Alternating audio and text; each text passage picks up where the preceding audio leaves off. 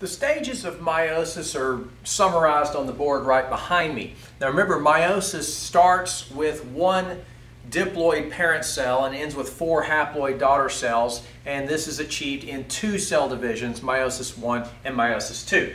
Meiosis 1 shown on this side, meiosis 2 shown on that side.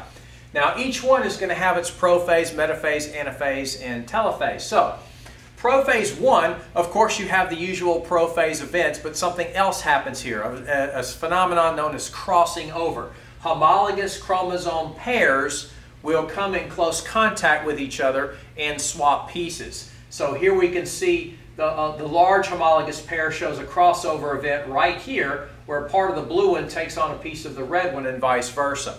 So this homologous pair had a crossover and I drew this one not having a crossover.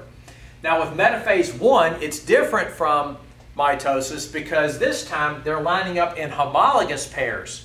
And in anaphase 1, it's the homologous pairs that get separated, and therefore after telophase 1, we've got two cells which are now haploid. So meiosis 1 is the division that goes from diploid to haploid. But by the time we finish here, there's some unfinished business we still have two sister chromatids per chromosome, and that gets taken care of in meiosis 2.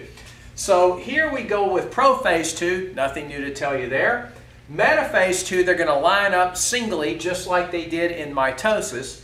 Anaphase 2 is also like mitosis. The centromere splits, the sister chromatids are separated. And finally, after telophase 2, we've got four total daughter cells, and you'll notice that none of them are identical to each other, which again is part of the plan here.